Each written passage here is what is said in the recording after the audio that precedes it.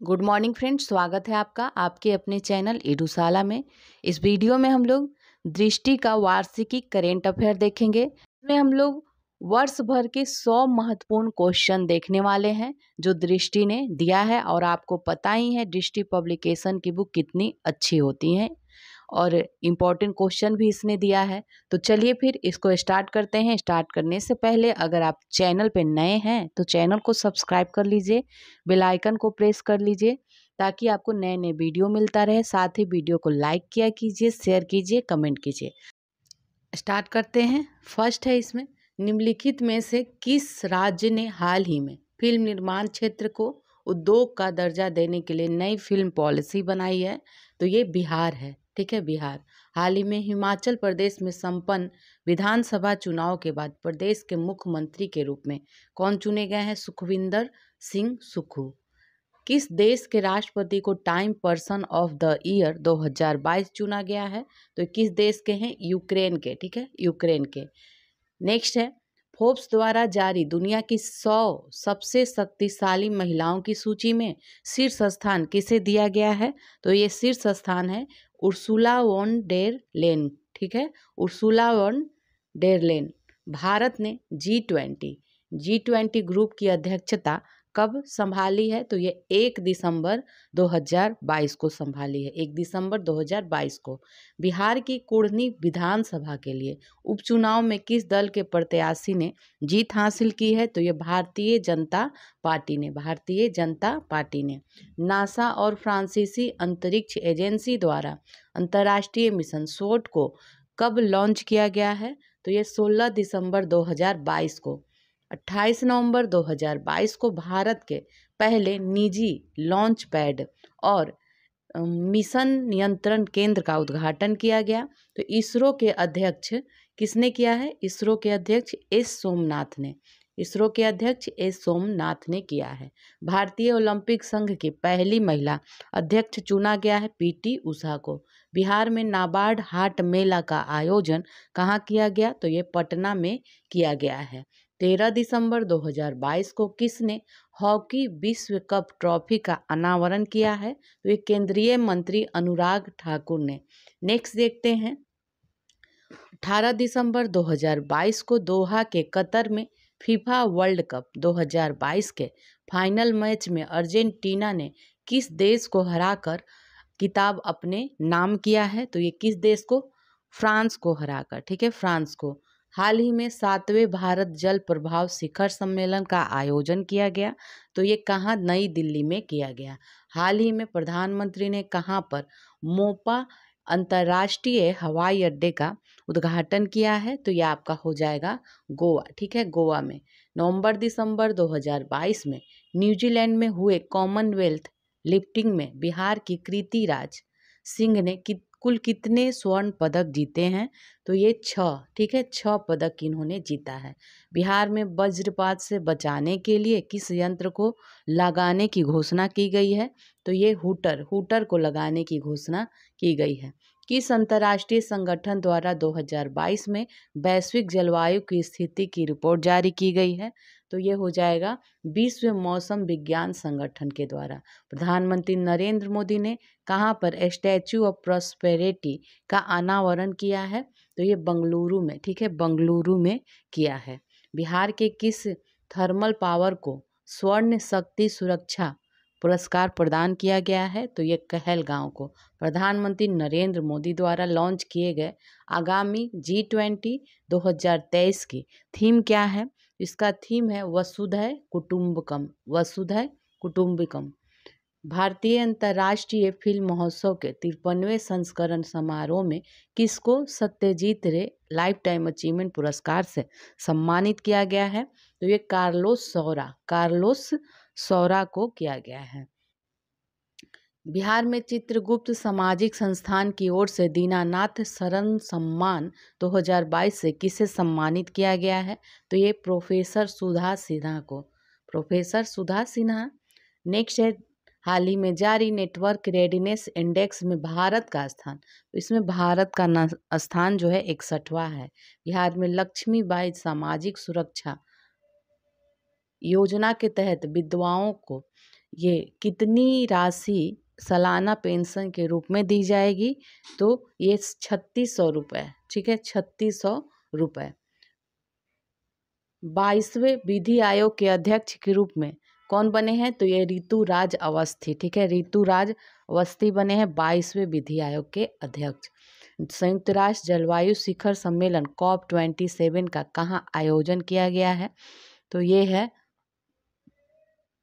शर्म अल शेख ठीक है, शर्म अल शेख में। नेक्स्ट है, चौदह नवंबर 2022 को किस खिलाड़ी को देश का सर्वोच्च खेल सम्मान मेजर ध्यानचंद खेल रत्न पुरस्कार के लिए चयनित किया गया है? तो ये है शरद कमल अंचता। शरद कमल अंचता बिहार का कौन सा जिला हंड्रेड परसेंट डिजिटल बैंकिंग वाला पहला जिला बन गया है? तो ये है जहानाबाद, ठीक है? जहानाबाद युवा टू पॉइंट ज़ीरो योजना को, की शुरुआत जो है निम्न में से किस के लिए किया गया है तो ये हो जाएगा युवाओं को रोज़गार देने के लिए। स्वच्छ सर्वेक्षण 2022 रैंकिंग में सबसे स्वच्छ शहर निम्न में से किसे घोषित किया गया है? इंदौर को। ग्लोबल हंगर इंडेक्स 2022 के पंद्रहवें संस्करण में। भारत को निम्नलिखित में से कौन सा स्थान प्राप्त हुआ है? तो ये है 107 हंगर इंडेक्स में। बिहार राज्य में पहला मल्टी मॉडल लॉजिस्टिक पार्क कहाँ बनेगा?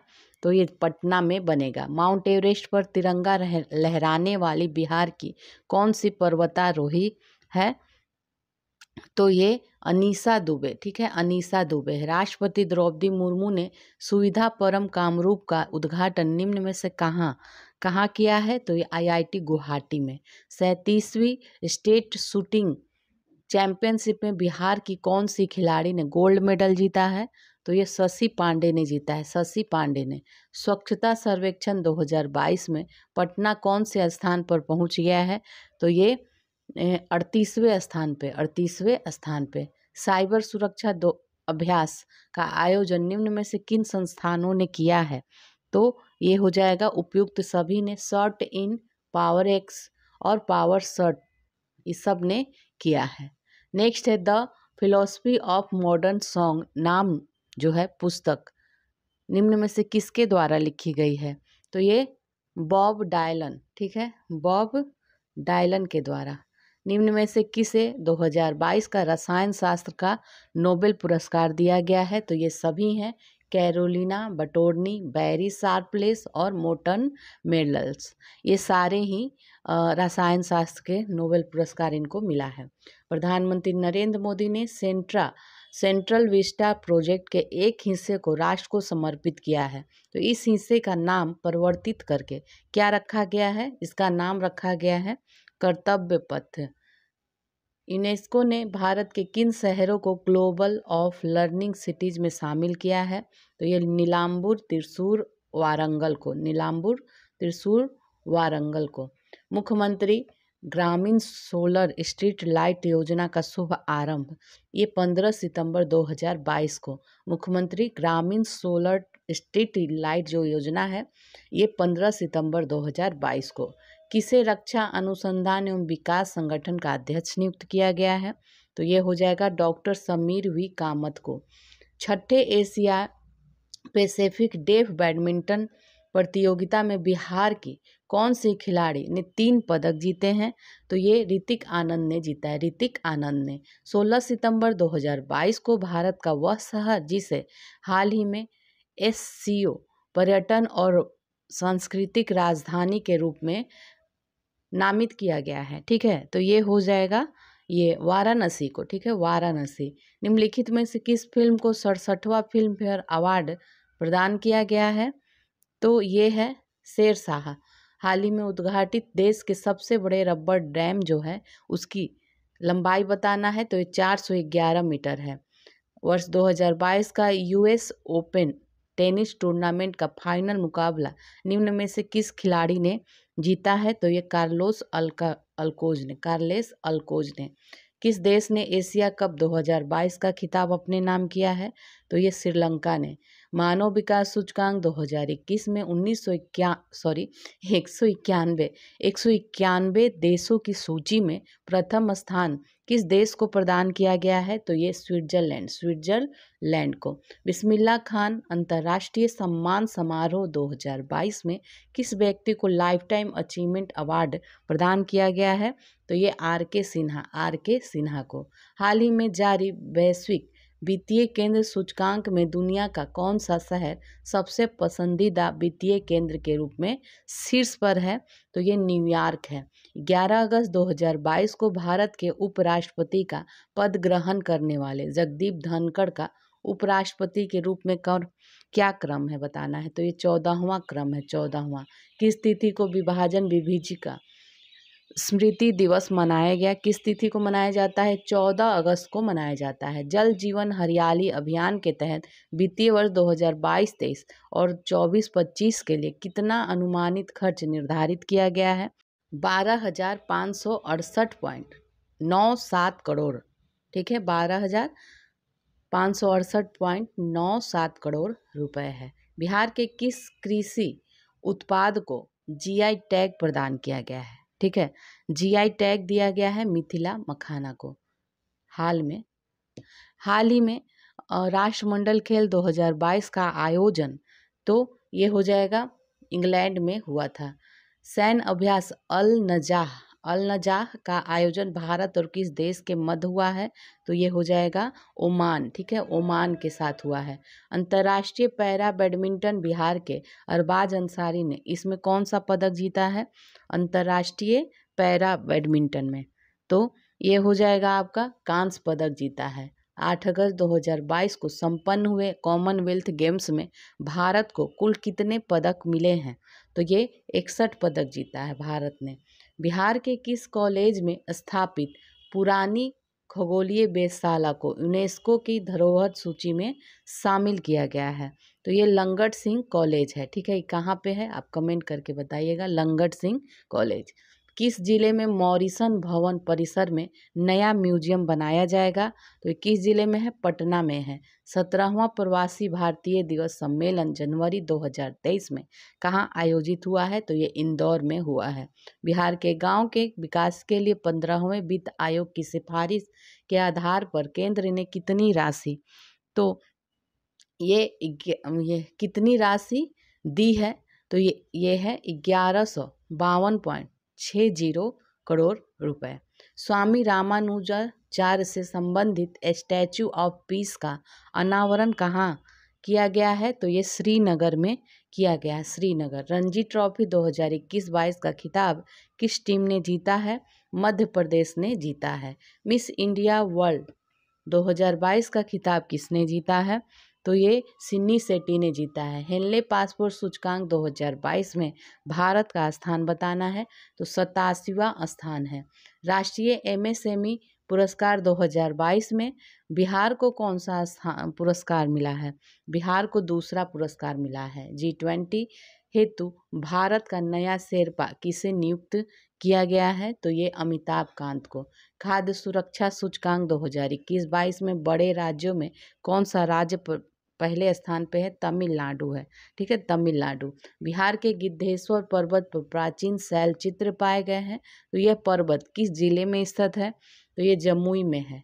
भारतीय लेखिका गीतांजलि श्री को किस पुस्तक के लिए अंतर्राष्ट्रीय बुकर पुरस्कार 2022 मिला है? तो ये है Tomb of Sand Tomb of Sand French Open 2022 में पुरुष एकल वर्ग में प्रतिस्पर्धा किसने जीता है? तो ये राफेल नडाल ने। वैश्विक सतत विकास रिपोर्ट 2022 में भारत का कौन सा स्थान है? तो इसमें भारत का 121वां स्थान है। हाल ही में जारी एक रिपोर्ट के अनुसार मछली उत्पादन में बिहार का कौन सा स्थान है? तो बिहार का इसमें चौथा स्थान है।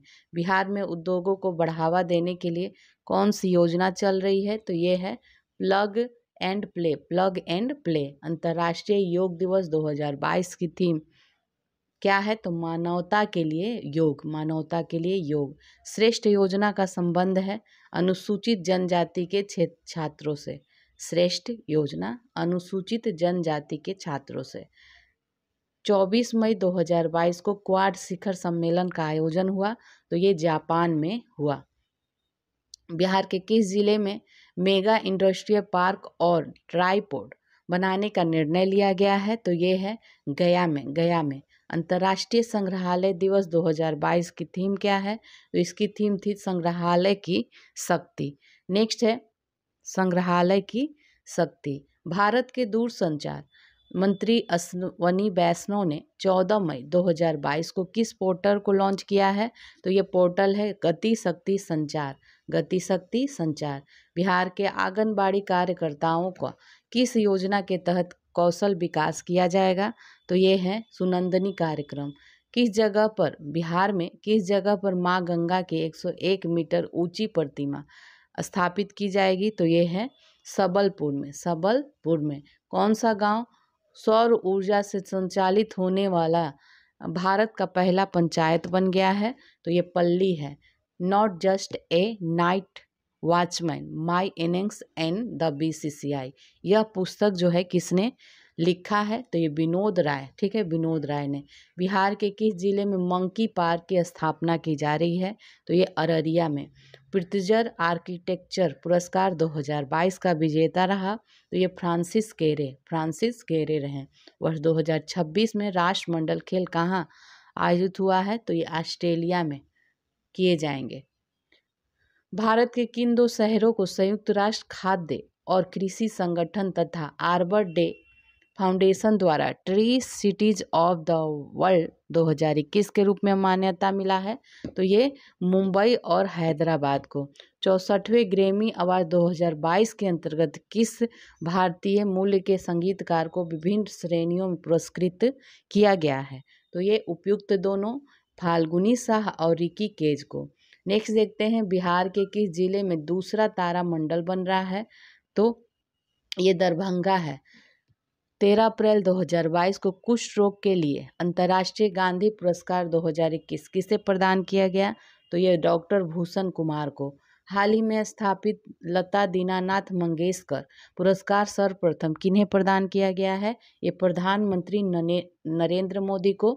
किस भारतीय महिला बैडमिंटन खिलाड़ी ने हाल ही में स्विस ओपन 2022 के महिला एकल का खिताब जीता है तो ये पीवी सिंधु ने जीता है। बिहार के किस ज़िले में पट, पहला पहला टेक्सटाइल मैत्री पार्क का निर्माण किया गया है तो ये पश्चिमी चंपारण में। किस ऑपरेशन के तहत भारत सरकार ने यूक्रेन में फंसे भारतीय छात्रों व नागरिकों को सुरक्षित निकाला है तो ये है ऑपरेशन गंगा। भारत का पहला digital water data bank, aquarium, किस राज्य में लॉन्च किया गया है? तो ये कर्नाटक में। हाल ही में चौदहवां भारत जापान वार्षिक शिखर सम्मेलन कहाँ आयोजित किया गया है? तो ये नई दिल्ली में आयोजित किया गया है, ठीक है, नई दिल्ली में। तो इस तरह देखिए आपके ये सौ क्वेश्चन कंप्लीट हो गए। अब हम लोग अगले वीडियो में वन लाइनर कंप्लीट करेंगे। चलिए तो फिर मिलते हैं अगले वीडियो में।